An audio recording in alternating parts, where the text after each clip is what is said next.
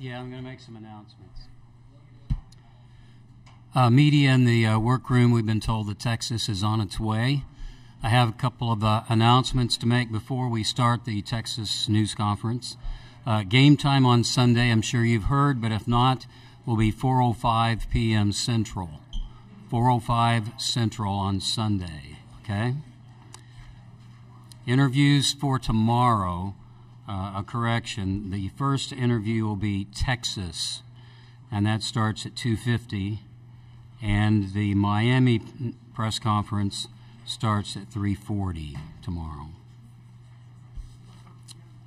Um, satellite coordinates again for all the broadcasters: Galaxy 17, K16 slot A with a downlink of 12006.5 V as in Victor. Remember to turn off your cell phones here in the interview room. And when the microphone comes to you, Addie is on my left, Rachel's on my right. Uh, please state name and affiliation. Tell us who you are, where you're from. And remember, recording the press conferences on cell phones or cameras is prohibited. Uh, media listening in on Zoom, you're welcome to ask questions. Just signal us with the raise hand feature, and we'll try to give you that opportunity. Okay? I think the Longhorns are here, and they will be on stage in just a bit. Hey,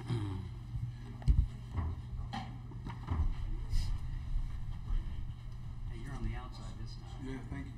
I did it just for you.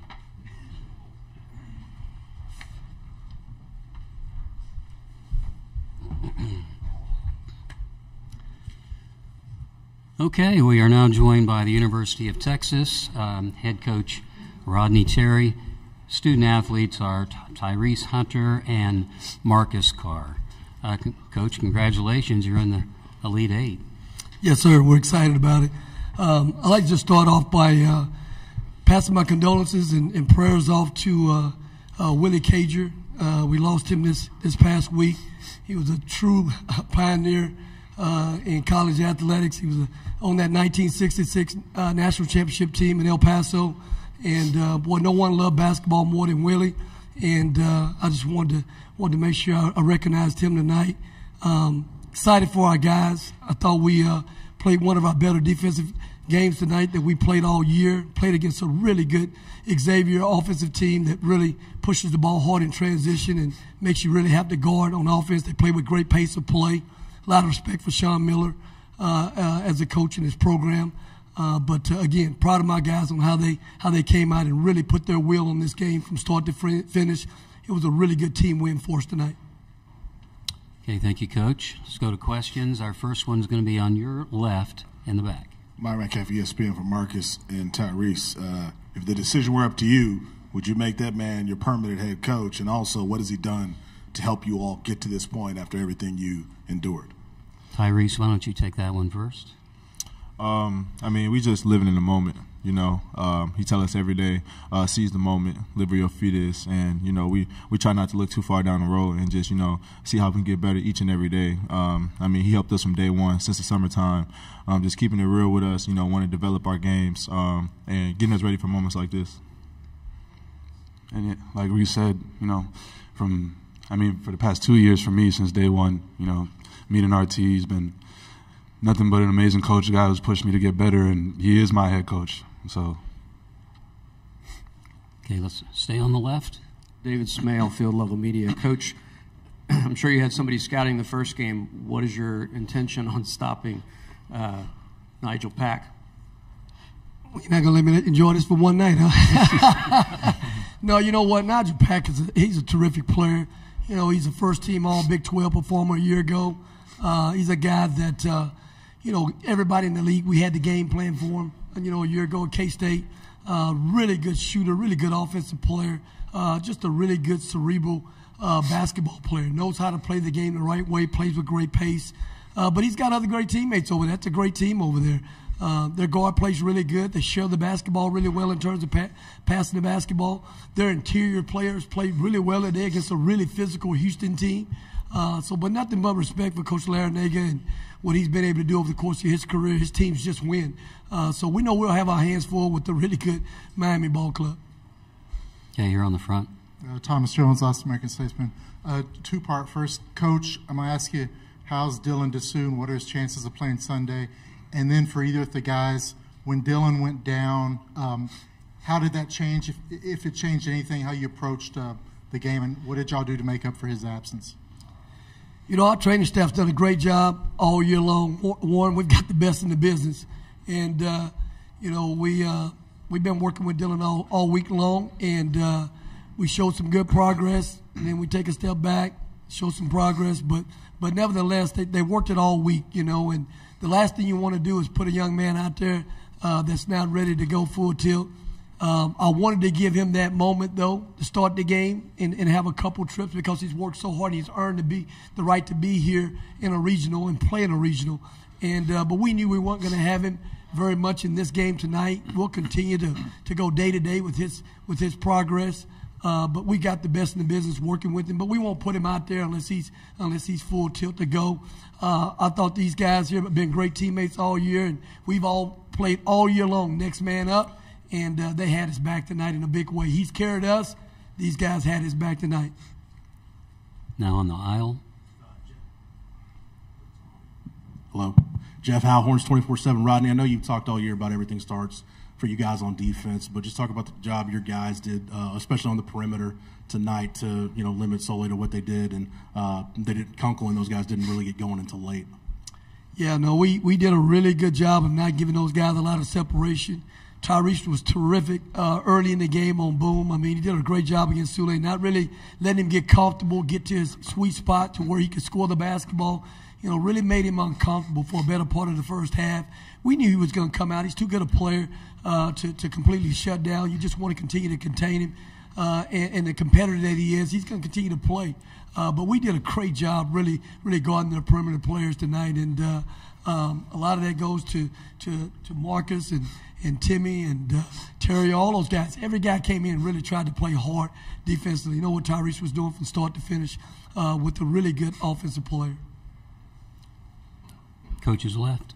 Cedric Golden, Austin American Statesman. For all three guys, um, you had some foul problems. You knew Dylan was going to be limited, and um, you just didn't let up. What does it say about the resolve of this team? And for you, Coach, um, what kind of advantage is it to have old guys – that don't panic in moments like this? Why don't we start with Marcus? Uh, yeah, like you said, uh, we knew, you know, before the game that we wouldn't have Dylan for the whole game. So, like Coach said, all year long we've had that next man up mentality. Um, a couple weeks ago, we didn't have TA in the Big 12 championship, and you know other guys stepped up. So, um, we just wanted to really play for him. Uh, we knew how much you know this would mean to him. We all got emotional in there, just knowing that he wouldn't be out there, but we all knew, you know, the job that we had to do for him. So CB obviously stepped up in a big way and played, you know, to the ability that we know he can, and he helped us a lot. And everybody out there really stepped up their game in, in place of Dylan, and we're going to continue to do that. Tyrese. Um, you know exactly what Marcus said. Um, we just having that uh, mindset. Um, I mean, next guy is always ready um, in our bench and being deep. Um, and coaches do a good job of you know preparing us for moments like this, just in case stuff like this happens. Um, you know, in a moment like this. Um, so just go out there and play hard and just have each other back. We were here. We were in the same position a couple weeks ago in the Big 12 tournament. We didn't have Timmy Allen, uh, very productive player for us over the course of the season. We didn't have him for three games. Other guys got a chance to step up and had opportunities. I thought CB came in and gave us some incredible minutes uh, for a better part of the game. I thought Brock came in, gave us great minutes. I thought Dillon Mitchell, you know, did his part in terms of what we needed to do. But, but uh, this has been a very, you know, resilient team all year long, and you know we've been in this position before. And uh, um, you know, when you play in that Big 12, uh, Big 12 league, you've been battle tested, and uh, you know it's not anything you really hadn't faced all year long. Foul trouble, an injured guy you just keep playing and keep working the game for 40 minutes. We have about five minutes to go in this interview session. Our uh, next question will go here on the right. Uh, Nick Mull, San Antonio Express News. Yeah, Rodney. Obviously, if, if uh, Dylan was out there, he probably would have spent a lot of time guarding their seven-footer. Without him, you know, I think he, you know, he had 15, but he took 19 shots to get there. Um, just what do you think of the job that you know CB and Dylan did, and then just you know the on-ball defense of, of Tyrese and Marcus, and how that kind of impacted what Xavier wanted to do? Well, we knew Dick, we're going to try to keep these guys uncomfortable uh, in the full court and also in the half court. So our pressure defense up the floor, trying to take the ball out of Souley's hand and make somebody else initiate offense was going to be really big for us. They're a big hit ahead team. We needed to try to limit, you know, their their uh, their pace of play up the floor. Thought our guys did a really good job of that. We worked on that uh, the majority of the week. We need a big fella could be a factor in the game. We're gonna have to try to block him and Hunter out. Hunter been playing really well for those guys as well, and uh, you know, at half I think they had six offensive rebounds. We knew we had to come out and do a better job of blocking those guys out uh, out and keeping them off the glass. But really, you know, proud of the way our guys battled. I thought CB, I thought Brock used their quickness in there. Dillon Mitchell used his quickness. We knew we were going to use Timmy in the post as well. Um, you know, and again, I think all those guys by committee really got in there and tried to do the job for us. Okay, here on the extreme left. Okay, uh, for any of the three of you, we talked about the fact you were here two weeks ago. Does familiarity with the surroundings, with the crowd, with the court, with the rims, the backdrop, anything, does that help you as you come back here to T-Mobile? You just want one of them? Any of them. Okay, we'll call on Tyrese. Um, I mean, like you said, we've been here before. Um, a lot of these guys and us, we played in the Big 12, uh, played in this arena. Um, you know, so you know, I say, you know, just having our fans coming out, having that support. Um, any team we play is going to be a big game for us, and you know, just come out and just be us. Okay, here on the front left. CBS Sports, Rodney. For those of us that don't know, when was Dylan hurt? How was he hurt? Because it was described as a bone bruise. And what is his availability for Sunday? Well, again, it'll, it'll be day to day right now at the moment. Um, he he got injured in the last ball game, in our last ball game, and we started. You know, the next day we immediately started, you know, trying to work on treatment and trying to see what we can do to try to put him in the best position. Hopefully, at the end of this week, uh, to be in a position to play. We we made some pretty good progress at one point. Uh, and then, you know, we had a setback or two. And, uh, um, you know, again, we have the best in the business working with him. And uh, we'll, we'll put him out there if, he, if he's 100%, but we're not going to put a young man who has a great future ahead of him out on the floor if he's not ready to be out on the floor. I think we have some uh, media on Zoom. Let's take a question from them, Alfred. Corey Mose, please unmute yourself, identify your affiliation, and ask your question. Uh, Corey Mose, KVUE Sports. Congratulations on the win tonight, fellas, and of course, coach. Uh, two questions. One for Marcus. Uh, when you hit that circus shot, when the clock, shot clock was running down, is that when you knew it was going to be all night? And then for Coach Terry, uh, throughout the season, we've seen your squad interact with the crowd, interact with the fans, say whenever there's a run going on. So tonight, I saw a moment you were trying to corral Jabari and Timmy to the huddle. So uh, how do you balance letting them like show that confidence as hoopers, but then also keeping them focused for the job at hand? Uh, I would say from our first couple possessions, just the way we were guarding on defense and our intensity and seeing how everybody was locked in, I knew that you know we were here to we were here to play. Um, obviously, me hitting that shot, it didn't hurt at all. Uh, it was nice to see that one go in and you know not have that possession be empty. Um, but really, I know whenever we're locked in or when we, whenever we have a really good chance to win the game is when we're locked in on defense, and I see our intensity and everybody's just really locked into the game plan. Okay, we are virtually out of time. We'll have one last question in the back on the left. Payne Williams, Daily Texan. Uh, Coach, you've been coaching these big games at Texas since the early 2000s under Coach Barnes. How do you think those experiences and big games have uh, prepared you for tonight? Well, again, I think you know you learn over the course of the, the NCAA tournament. You have to play the game for 40 minutes, and uh, um, you know we're we're a pretty emotional team. A lot of times we we feed off of our emotions in terms of how hard we play, and I've got an older team that really understands you know playing with poise, playing with emotion, but also trying to finish the game as well.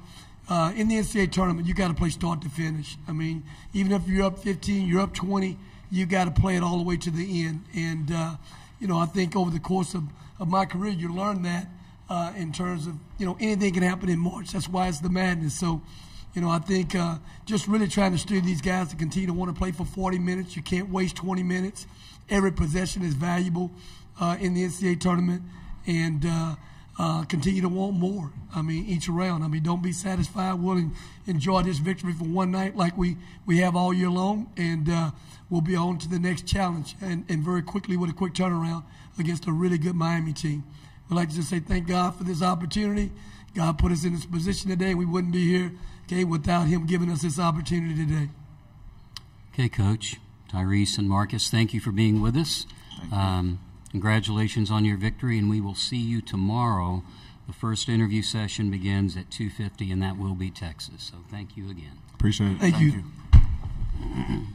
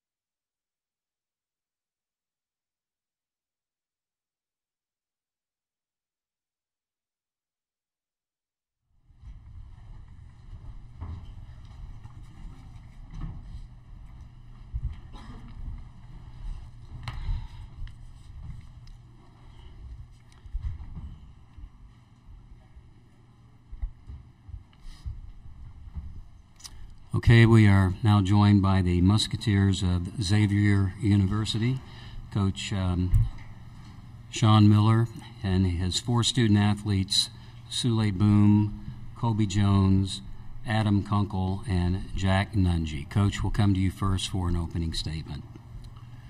Well, I want to congratulate Texas first and foremost. Uh, you know, Rodney Terry and his staff have done a great job. Uh, his team in Texas was prepared, and uh, they were better than us. We had a very difficult time running our offense, which uh, is a real testament to their defense because we've been able to score virtually every game we've played this year, maybe other than once. Uh, but uh, their pressure something you, you, you can't really simulate until you're in the game against them. Uh, their toughness, their experience, and then offensively, you know, they have great guard play, and, and you feel that as well. There are times when we started to score, and then we had an equally hard time defending them. They, they were the better team, and uh, sometimes you have to tip your cap to the team you played. We were ready. Uh, we were uh, prepared. We had a great week.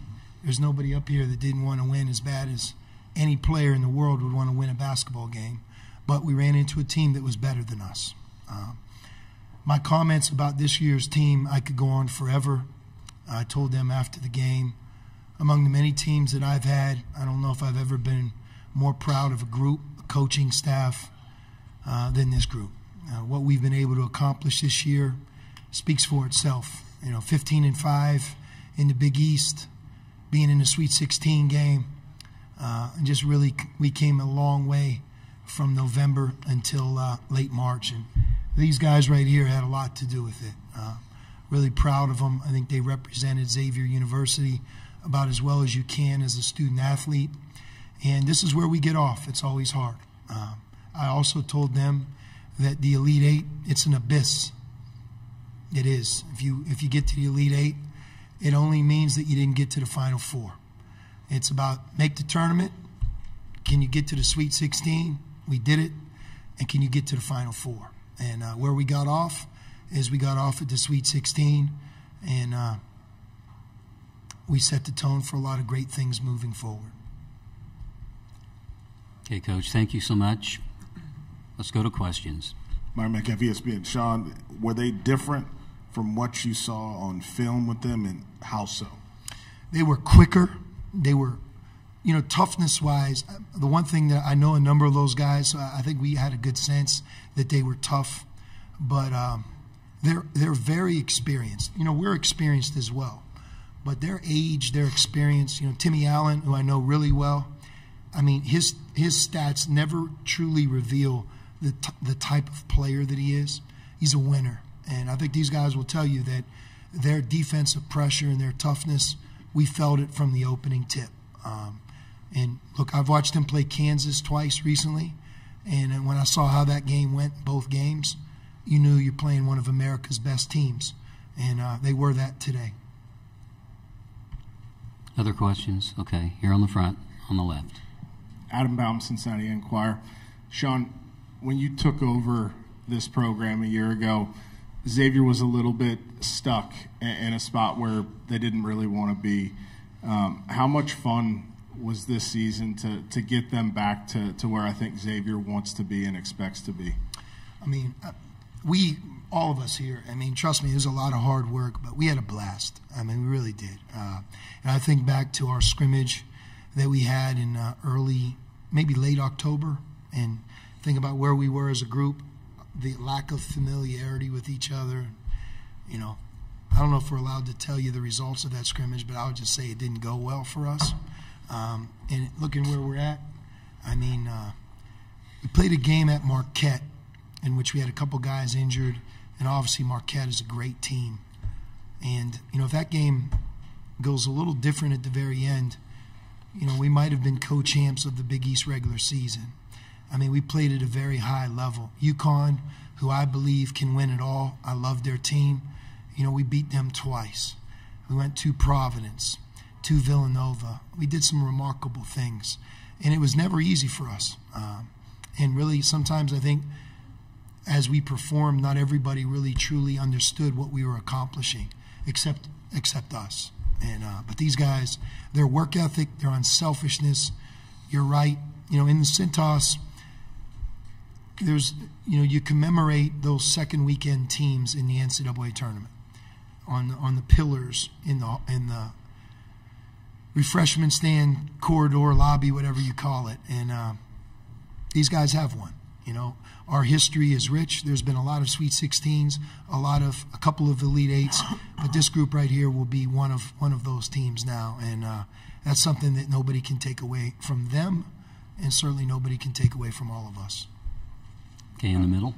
Yeah, right here, Caleb Noe with WCPO Channel 9, Cincinnati. Uh, Adam, I, I, I, get it, man. It's, you know, emotional. Clearly, you know, it's emotional for you coming off of this thing. Um, what for you, though, personally makes this so tough or emotional? Uh, I mean, this has been one of my favorite years of, of just playing basketball in general. Uh, I feel like this group we've we've had so much fun together. I feel like we all gel really well. Uh, we have great relationships with each other. Uh, and I would say the, the thing that makes it the toughest is just that I don't want it to end. I don't want this to be the last time I take off uh, this Xavier uniform.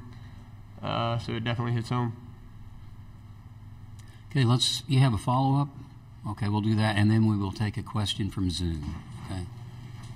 Paul Frischner, Big East Digital Network. Souley, I know you only got to play one year at Xavier, but what are you going to remember most about playing in a Xavier uniform? Uh, I remember. Uh, I remember these guys. I remember my coaches. I remember the Cintas Center. Uh, I remember the uh, the faculty, um, staff, everybody in the building. I remember everything. Um, I know my, my, my time here was short. Um, it went by very very fast. It just felt like I got here in the summer, um, not too long ago. But um, I remember everything. I appreciate this university. I appreciate Coach for believing in me, giving me the chance, opportunity to come here and play, and uh, I just appreciate everybody. Okay, let's go to Zoom. Dan Tortora, please unmute yourself, identify your affiliation, and ask your question. Dan Tortora, wakeupcalldt.com. Coach, you see the emotion of this team. The last time that you led Xavier was back in 2008 9. The road to come back to this school and lead this school again, just what it's personally meant to you. And when you look down the line at these student athletes and, and see their emotions, just what you want to say to them about their fight this season. Yeah, I mean, I've, I've, I've really said it time and time again. I'm incredibly grateful for the opportunity uh, to be the head coach at Xavier. You know, it's a place that really embraces students. It's a wonderful place to go to school. It's an incredible place to play college basketball at because people care so much. It's the city of Cincinnati, it's the campus community. Like Souley mentioned, you know, our home court, what it feels like. Get 17 home games a year, and these guys play in front of a great crowd all 17 times. Uh, you know, the thing about this tournament, I mean, it's incredible because of what you're watching. The thrill of victory and the pursuit of a Final Four for all of us, and the reality of, of it all ending. And in some cases, careers ending, seasons ending. And um, it's what makes it so special. But in this case, these guys right here, uh, they gave us everything. They really did. When you lead America in assists, I don't know if you really have to say much more than that. There's only one team that can be number one in assists, sharing the basketball, playing together, being unselfish, and that's what we did for a large part of the season, almost from start to finish.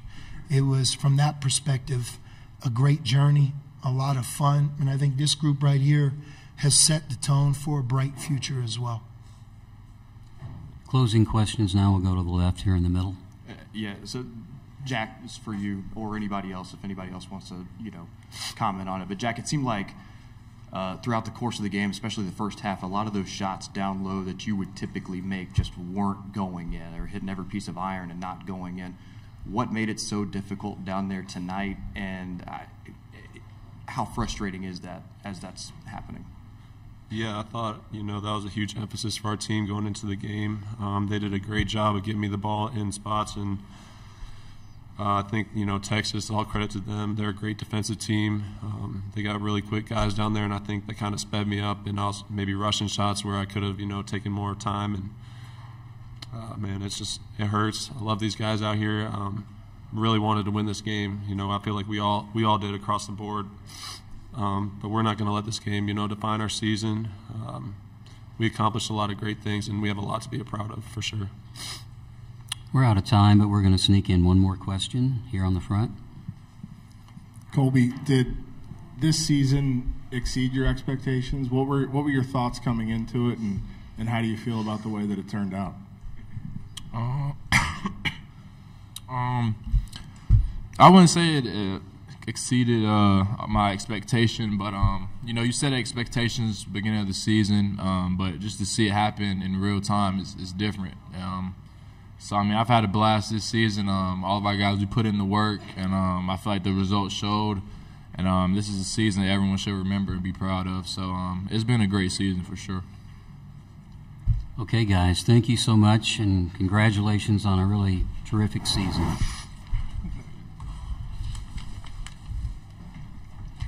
Good to see you, Stanley. Take care. See you. See you, Coach. Yeah, thank you. See you next year.